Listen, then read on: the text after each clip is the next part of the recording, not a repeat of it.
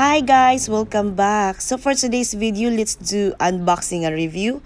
These are one of my perfume collection. These two perfume, it's only a gift from the person that I know. So let's do unboxing and review on this. Enjoy watching of this video. Okay, the first perfume, it's called Noa. Noa is a small planet in your hand with a pearl inside. This fragrance is like a tender whisper, feminine and suitable, weightless, but in a noticeable presence. The size of this perfume, it's only 50 ml. So the price of this is like 103 dirhams to 111 dirhams. And let's open this to see what is inside in it, which as you can see, it's a tiny one. But give me a second to see oh the packaging is good. And look at this.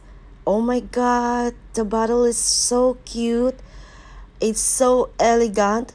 And there is something inside. It's yeah it's true. There is a pearl inside but oh how to open this?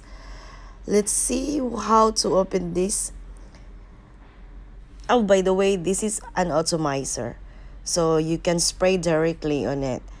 Yeah as like that so there is no cap, no cover.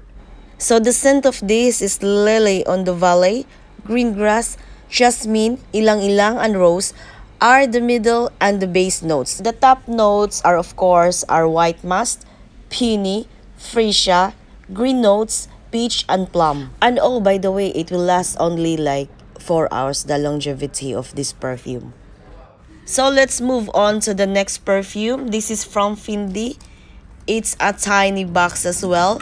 And by the way i think this is only how many ml yeah it's a 30 ml this perfume is called Fendi La Acquarossa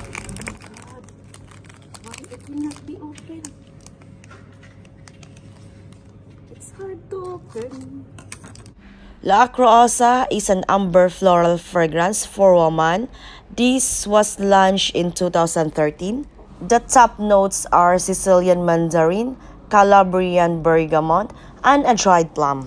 Middle notes are rose, lantana, magnolia, and orange blossom. And also the base notes are musk, red cedar, and patchouli.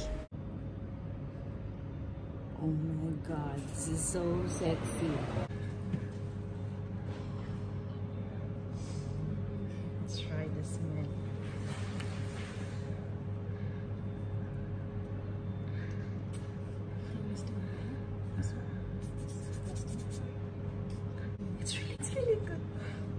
Mm, perfect.